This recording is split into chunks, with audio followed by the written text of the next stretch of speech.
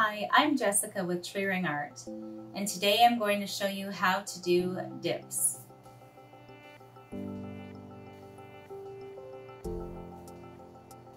I have my acrylic paints mixed up.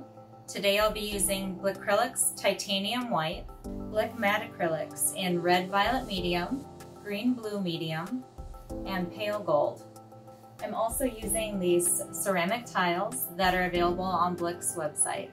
When I do a dip, I will lay freezer paper down and then I take the surface that I'm going to get paint on and I usually put it face down and then I trace around it.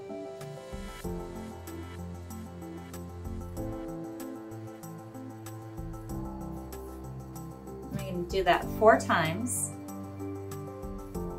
You can just pour your paint without tracing the surface, but I like to do it this way, a little more control over what I'm putting on my tile. So I'm going to start with the white. You can use the stick if you'd like to apply your paint to the square or just make a spout. These little paper cups are really handy for this. And then start filling your square with your paints. You can do any sort of pattern you'd like. I like to just randomly go with the paints. Um, I always think it makes a neat pattern when you dip into all the paints together like that. You could do all white on one side though, and then you could put your other colors over here. Um, there's so many different things that you can do and it's fun to play around and see what kind of patterns you can make on tiles. This is what I do with all my leftover paint from acrylic pouring. Now I'm going to add some red violet medium. Now the green blue medium. Some pale gold. That's where I try to fill in all the spaces that are still open in the square. Now you go through and look and I, if you can see there's some little spaces in here that still didn't get filled in.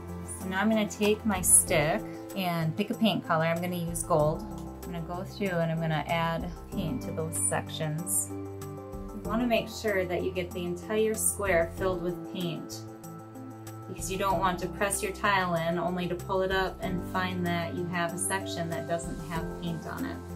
Now I have my squares filled with paint.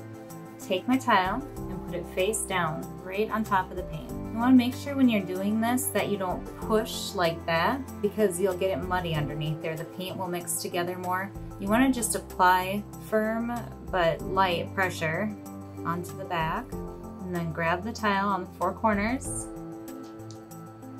flip it over. It doesn't usually cover the sides all the way, so a good way to do that is to look into your paint and see where you can find sections that might match and set it into that section.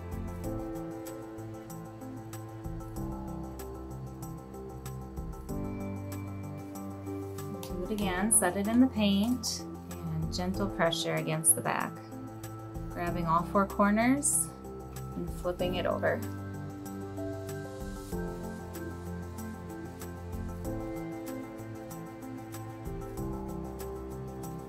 You can see there's little air bubbles in there. Those will pop. You can also lightly run a torch over them, a hand torch.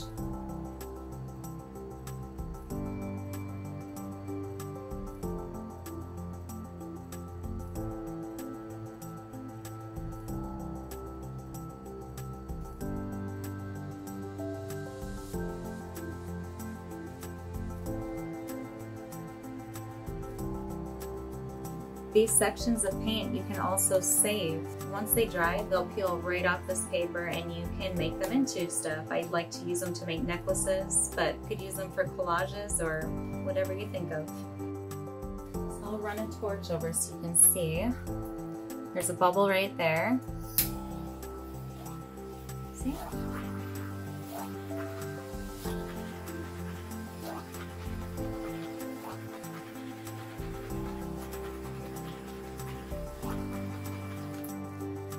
There's a set of dip tiles.